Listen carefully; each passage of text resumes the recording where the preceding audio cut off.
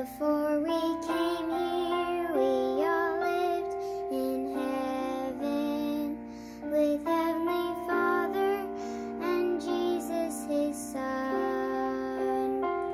It's where they taught us to choose good from evil, to be prepared for the battle to come. For Satan tried to 你是